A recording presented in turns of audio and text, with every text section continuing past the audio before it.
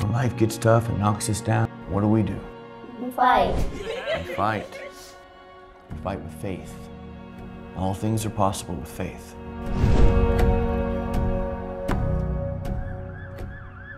Your father has sustained a very serious brain injury in the accident. I'm afraid he has about 1% chance of survival. I'm so sorry.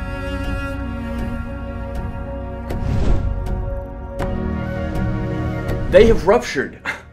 She woke up swimming in amniotic fluid. And we are coming to the hospital now.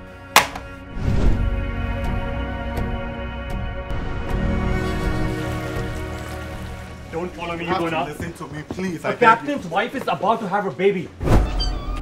Doctor? His garage door looks closed. I'm gonna have an emergency No, that I have to no, attend no. to right My now. father has to. Doctor, doc- Please tell me there's nothing wrong with my son. We need to take a look at his heart.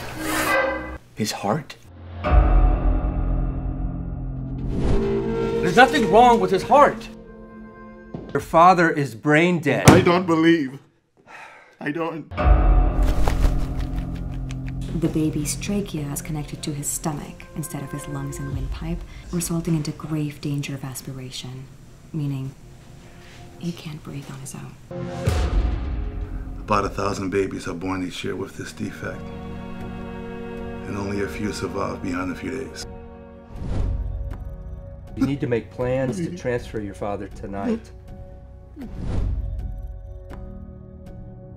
Even with successful surgeries, Caleb will never have a normal heart. We're turning off the ventilator.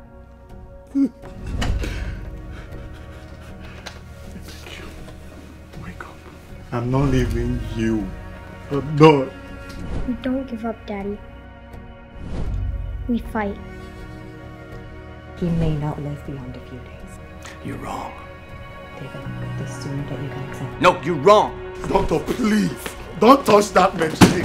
And from now on, anyone who touches my son must believe he is going to live, and not just for a few days, but he's going to live a long, happy, healthy life.